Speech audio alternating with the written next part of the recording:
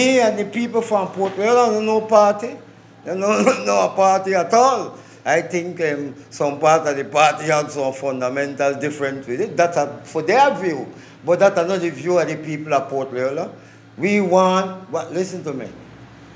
What I am fighting for, this is a dangerous trend, in my view, in the democracy of this country. To have people thwart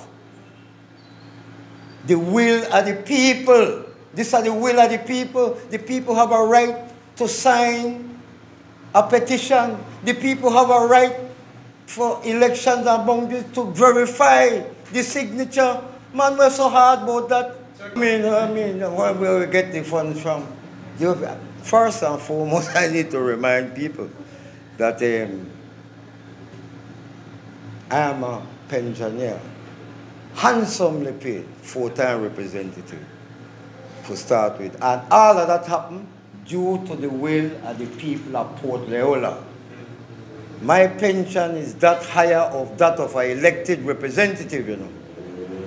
Plus I'm 60 years old and I get social security pension too. I'm part of getting social security pension not because the people of Port keep me in a job so long so I qualify so I could invest on them at least for the will of the people.